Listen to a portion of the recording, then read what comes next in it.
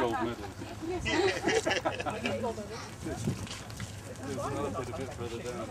And with the Maipo you have, well, Maipo more nearer to the coast, uh, what is called Isla de Maipo, that will be warmer because it's, uh, the Maipo Valley is, a- is a valley that is, the coastal mountains block quite, quite significantly all the, the, the, the, the wind from the sea.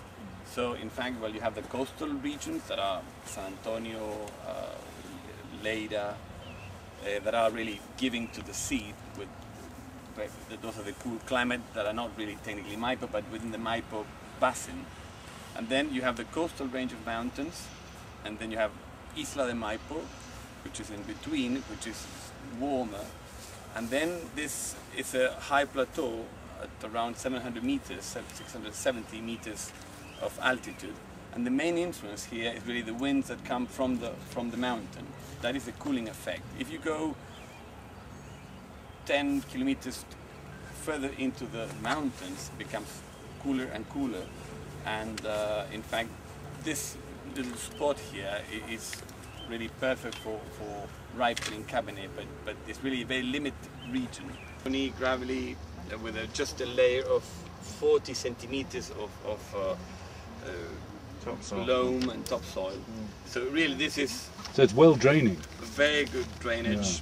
Maipo we have something like 450 millimeters of rain in an, in an average year, but mainly in winter time.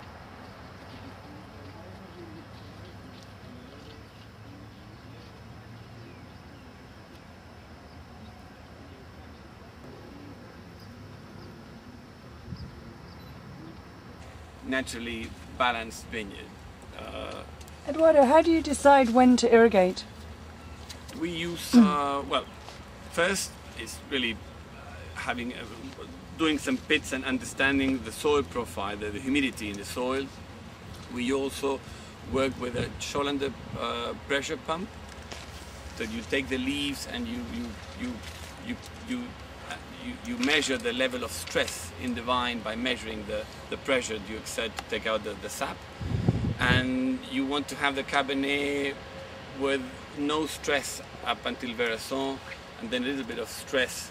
So really we, we like to keep the water level in the right parameters of stress in the vineyard, not to overstress but, but not to over irrigate either. And Cabernet Franc, earlier ripening varieties and that and we today with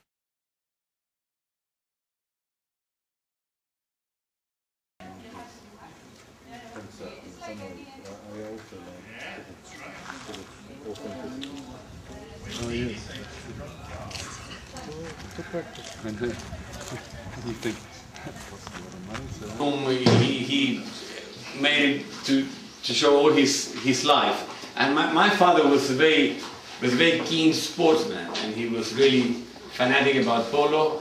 All his life he played polo, and here he has pictures of his polo life since the 1930s.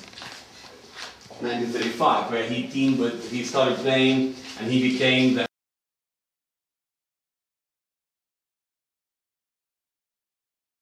inaugurated. We, we just finished. That's why you can smell. Yo le di una eh. So we need to. Y te podría ahorita quizás la llave. Eh, No sabe, solo la grande, Sí. and that's um, Eduardo's brother, brother, sister, and there, the fourth, and I'm there with my mother, and that's another photo of the house, how the house looked before. That's Eduardo here with an Alfonso, nice picture when we got married. Picture when you lived in Oxford as well. Yeah. Yeah. That's it. Not much because the Aconcagua is very abrupt. It's very Yeah. steep. So the mountain really falls into the valley, and uh, and this section here will be warmer than the other section.